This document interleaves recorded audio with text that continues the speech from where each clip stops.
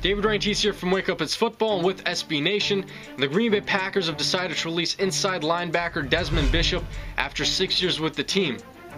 From the information I've been able to gather, Desmond Bishop was not confronted by the Packers uh, for a pay cut. Instead, they gave him two options. He's either going to be traded or released, and today we got the news that he was going to be released by the Green Bay Packers. Now, two years ago, when the Packers went 15 and 1, Desmond Bishop, I thought, was one of the best defensive players that they had on the team. Unfortunately, last year he suffered a hamstring injury. Um, it was a torn hamstring, actually, uh, in preseason. Did not play at all last year. And the third thing to really top this whole thing off is that Brad Jones was signed from free agency. He hit, he hit free agency this year. The Packers decided to re-sign him on a three-year, $11.7 million deal. And it sounds like Brad Jones is going to replace uh, Desmond Bishop at the inside line, linebacker position uh, alongside of A.J. Hawk. So uh, there's a lot of things to this here.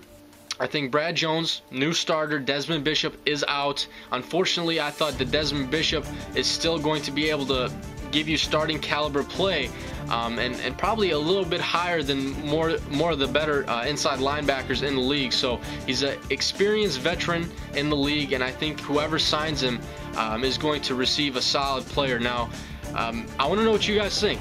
Throw your comments down below. Do you think the Packers made the right move in releasing Desmond Bishop, or would you like to see Desmond Bishop remain with the team? Uh, David Rantisi here from Wake Up It's Football and with SB Nation.